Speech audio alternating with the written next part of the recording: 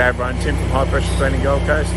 Uh, well, beautiful Monday on the Gold Coast. Today I say a little bit overcast, but uh, after this job that we're on at the moment, I'm definitely going to be up for Student of the Week.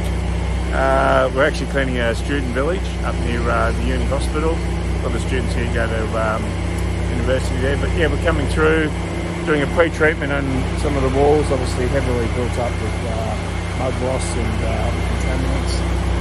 The rest of the boys are upstairs cleaning all the low level, the courtyards, but have a look the before and after pics, and uh, the client's super happy already.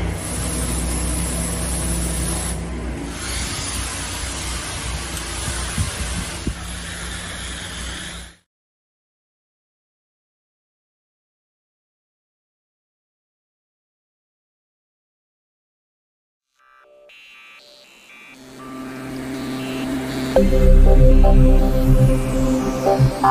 you.